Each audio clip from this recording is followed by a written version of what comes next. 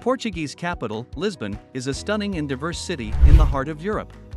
It is full of life and color and is known for its friendly locals and many exciting attractions that can be fit into a day trip or a more extended vacation. You can go on an adventure through the winding alleys of the historic district, along the riverfront promenade, or through the lush parks and gardens. So, here's our list of the top 10 attractions in Lisbon. Before that, have you subscribed to our channel? If you don't, make sure to hit the subscribe button for more content like this. Now, let's get started. Starting off the list at number 10 is Tram 28. Even though trolley cars haven't been widely used in Lisbon for many years, Tramline 28 still offers a chance to ride an ancient streetcar. Passengers on the ancient train ride through Lisbon's oldest neighborhoods and past some of the city's most visited landmarks.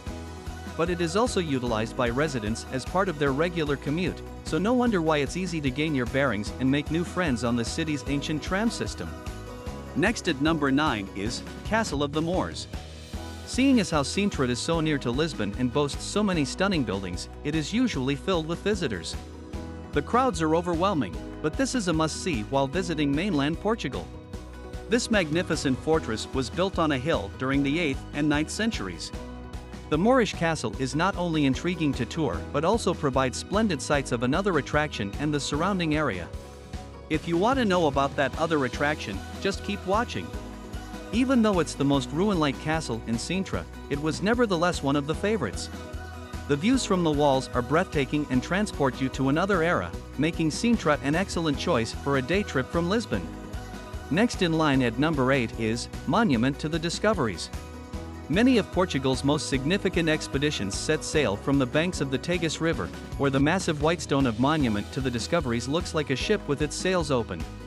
Built in 1960 to mark the 500th anniversary of Henry the Navigator's death, this iconic structure is a must-see for every visitor to the area.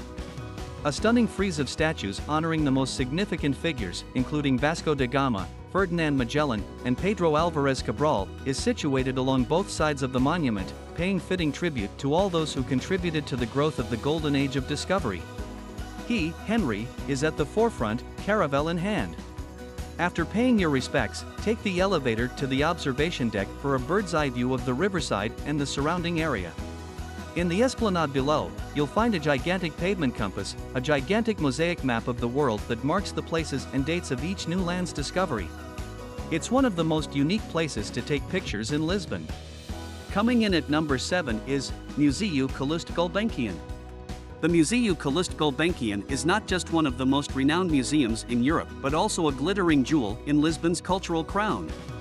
Calouste Sarkis Gulbenkian, an Armenian oil millionaire born in 1869, left Portugal his extensive private art collection soon before his death in 1955, and the facility, located in a lush, verdant park in the city's north, bears his name.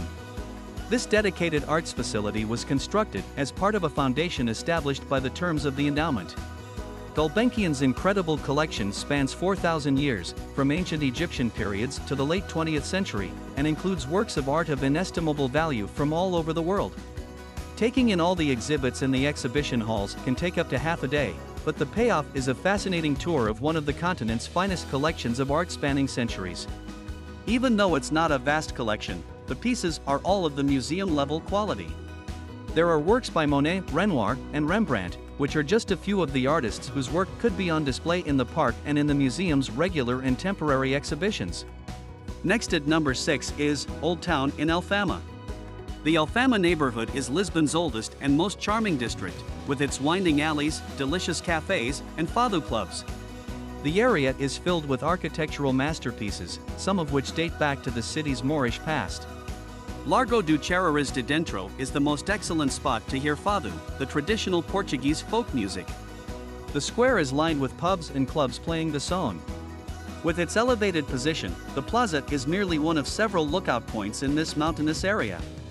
The ancient Moorish entry to Lisbon is Largo das Portas do Sol, where tourists can take a breathtaking panorama of the Alfama and the Tagus River. Let's continue with number 5, Carmo Convent. One of Lisbon's most airy and breathtaking sights is the abandoned Carmo Convent. It was the city's finest medieval structure before the earthquake of 1755 leveled it and the rest of the town. Even though the roof fell on the worshippers within on All Saints' Day and was never repaired, the Gothic arches of the building remain. Windows and other Manueline elements were added in the 16th and 18th centuries, but most of the structure goes back to the 1300s. Many works of art from the convent miraculously survived the earthquake and were eventually dispersed to the city's many churches. Fortunately, the disaster spared the artistic and cultural significance and can still be viewed in the area around the Gothic arches and in the sacristy. Next at number 4 is Lisbon Oceanarium. The Oceanarium, one of Lisbon's most fantastic modern attractions, was constructed as part of the city's preparations to host the World Exposition in 1998. The Oceanarium is the biggest indoor aquarium in Europe, and it is located in the northeastern neighborhood of Parque das Nações. There are four distinct ecosystems, each representing a different body of water. Each ecosystem features not only a wide variety of marine animals, such as sharks and stingrays, but also land animals, like penguins and otters. The sight of tropical birds flitting above a tank full of tropical fish is not to be missed. Coming in at number 3 on the list is the São Jorge Castle. São Jorge Castle, also known as St. George's Castle, is perched on a hill in the Alfama neighborhood and is one of Lisbon's oldest treasures. Lisbon's most visited landmark may conjure images of the city's time when it was ruled by the Moors. Still, it was actually a fortified fortification during the time of the Romans and Visigoths. Until the early 16th century, the Portuguese kings lived in the castle they had just liberated from the Moors in 1147. An archaeological museum now occupies the former royal quarters. It's simple to see why visitors to Lisbon flock to the castle ramparts, as the battlements and parapets offer spectacular vistas. Next at number 2 on the list is Jeronimos Monastery. St. George's Castle, the most well-known of Lisbon landmarks, sits on a hilltop above the Alfama neighborhood, providing a breathtaking view of the Portuguese capital below. When visiting Lisbon, this is a must-see attraction. The castle is fun for the whole family, but climbing the fortified walls and turrets is a particular highlight for the little ones. There is also a fascinating museum and an intriguing archaeological site to explore. The observation deck's unobstructed views of the city, the Tagus River, and the Atlantic Ocean are enough to keep most tourists content. But before we reveal number one on the list, here are our honorable mentions for this list. Elevador de Santa Justa, an antique elevator with city views. At first glance, its welded wrought iron structure and battleship gray paint evoke the Eiffel Tower in Paris because the elevator was designed by Raoul Mesnier du Ponsard, an apprentice of Gustave. It was designed to connect the Baixa district to the Largo do Carmo neighborhood, a popular spot filled with upscale stores, the residences, and small restaurants. Today, rather than commuters, curious tourists take the 32-meter journey to the top, traveling in wood-paneled cabins with authentic polished brass instruments. The cabins squeak their way to a platform beneath the upper terrace. The views from the top are spectacular, including a bustling urban canvas of pedestrianized streets, gorgeous squares, and the ever-present castle and river Tagus. Praça de Comércio. The riverfront Praça do Comércio outpumps them with its majestic 18th-century arcades, lemon meringue facade, and mosaic cobbles. Everyone who arrived by boat would disembark here, and it still feels like the gateway of Lisbon, bustling with activity and rattling trams. As a city icon, it allows access to several must-see sites, including Patio de Gale, Cais das Colunas, and the unique Lisbon Story Center. Pink Street. Among these out-of-the-ordinary activities is a trip to Pink Street in Lisbon. This is a literally pink area in the heart of Lisbon. This street of Lisbon is now home to the city's most exciting nightlife, closely like the past, but with a more modernist perspective and a smaller dose of liberty. So, if you want to end your day with a smile, you should definitely add Pink Street to your Lisbon itinerary. And now, tied for the number one spot is Belém Tower and just outside Lisbon, Pena Palace.